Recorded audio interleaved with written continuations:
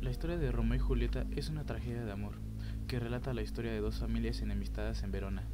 Estas dos familias son los Montesco y los Capuleto. Romeo, hijo de los Montesco, conoce a Julieta en una fiesta de máscaras organizada por los Capuleto. Ese día se enamora de ella, sin saber que era hija de los Capuleto. Romeo descubre que Julieta también está enamorada de él y se casan en secreto. Los únicos que saben de este casamiento son Fray Lorenzo y la nodriza de Julieta. Luego de la boda, se separan y llega a oídos de Romeo que su amigo Mercurio ha sido asesinado por el primo de Julieta, Tibaldo. Al enterarse de esto, Romeo mata a Tibaldo con su espada. Las autoridades de Verona, en lugar de darle la pena de muerte que Romeo merece, lo destierran de la ciudad. Después de irse de, la ciudad, le confiesa a Julieta que será a Mantua, acordando que se comunicarán por medio de cartas enviadas por Fray Lorenzo. El padre de Julieta que es muy estricto, decide que su hija el próximo jueves deberá casarse con el joven Paris. A partir de este momento deberá seguir todas sus órdenes. Paris es bueno, bien parecido y además es capaz de darle a Julieta todo lo que necesite.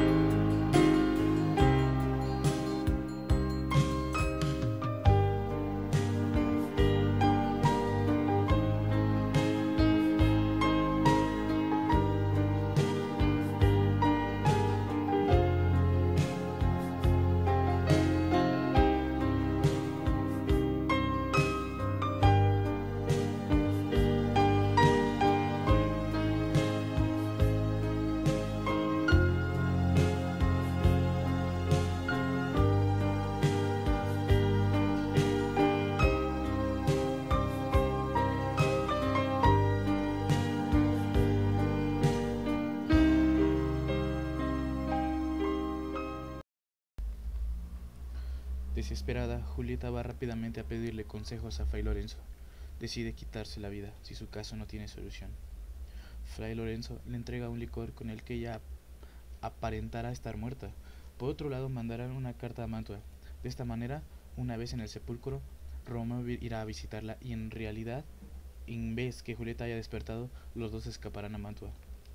Julieta procedió con lo que le había indicado Fray Lorenzo. La noche anterior a la boda con París, Julieta tomó el licor, que surgió efecto tal como lo habían planeado. La carta que envía a Romeo avisándole del plan no llegó a su destino. Romeo se entera por un amigo de la supuesta muerte de Julieta. Romeo, después de comprar un veneno hotel a un viejo boticario, va al lugar donde yace Julieta, profundamente dormida. Romeo, después de matar a París, llega al lado de Julieta, se toma el veneno y cae muerto junto a ella.